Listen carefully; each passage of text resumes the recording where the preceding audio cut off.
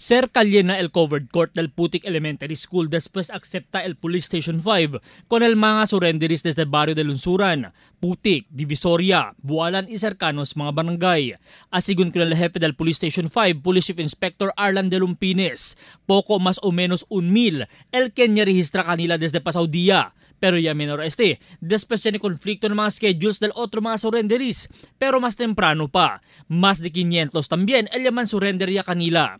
Nadila record, ya alcanza ng poco mas o menos 800 el mga yaman surrender del ayer tarde.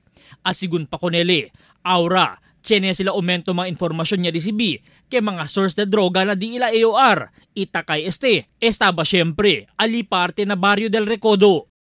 Del ayer, instead anda kami kung nila na barangay, alaman process, aki lang kami kung nila mandanda. So, a total of uh, 400 plus el abuya del ayer.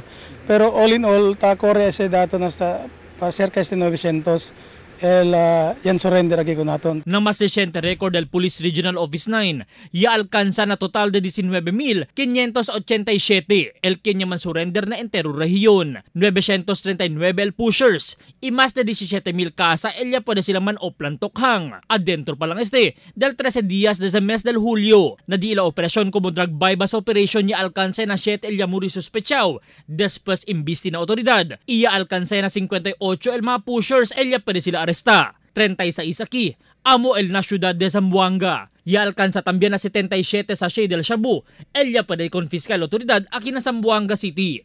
Asigun na PNP, hindi es el ultimo tiempo que el man operate sila kontra este mga duro pulso na sosyedad. Albert Luna, Dateline Zamboanga.